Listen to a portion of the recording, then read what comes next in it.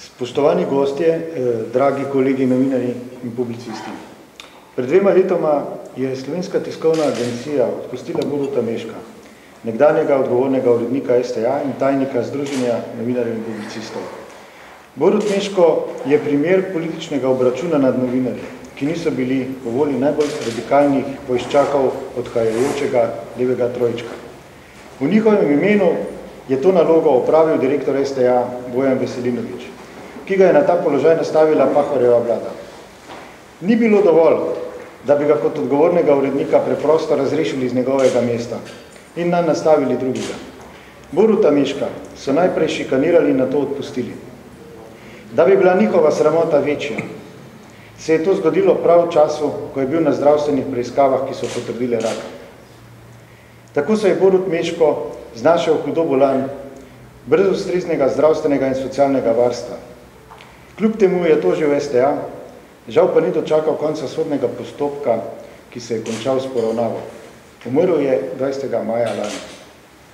Združenje novinarjev in publicistov je večkrat javno prozorilo na krivico, ki jo je Boruto Meško naredila državna tiskovna agencija in njeni politično nastavljeni kadri.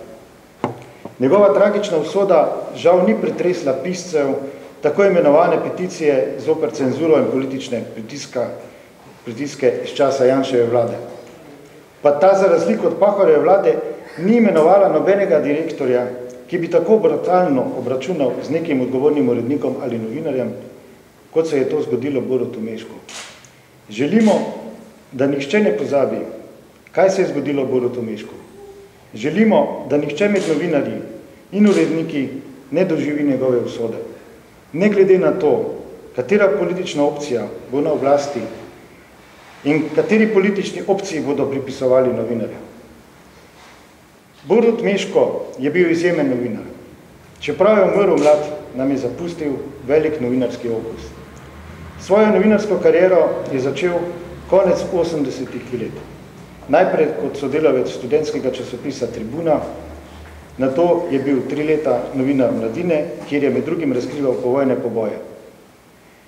Med drugim je delal tudi za TV Slovenija, Dnevnik Republika, revijo Podjetnik, Pop TV oziroma ProPlus. Na zadnje je bil odgovorni urednik STA.